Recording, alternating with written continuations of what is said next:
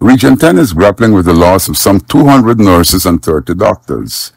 Regional Chairman Deron Adams said that the situation is gravely affecting the people. Because the fact that you don't have experienced people in the system, um, what has been happening now is that persons are forced to leave Region 10 and go to private institution, whether Woodlands or Mercy.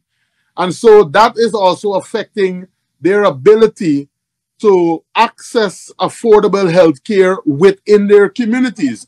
One would recall that it was under the APNU AFC that we had taken steps to decentralize several services, including the health services. He said that a dialysis center was constructed at the Linden Hospital complex. An eye clinic was established here.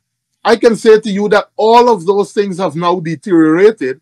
And if you look at the average citizen that turns up at the hospital, whether the Upper Demerara or the Linden Hospital for medication, you will see most times a red line drawn through their um, prescription list for basic medication. These people must go into their pockets. Right now, there is a break outbreak of dengue in our region where several persons are affected.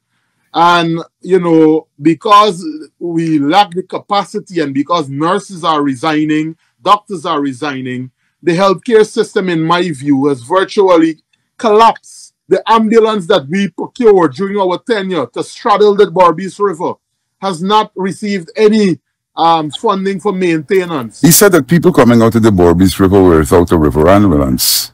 One has since been provided.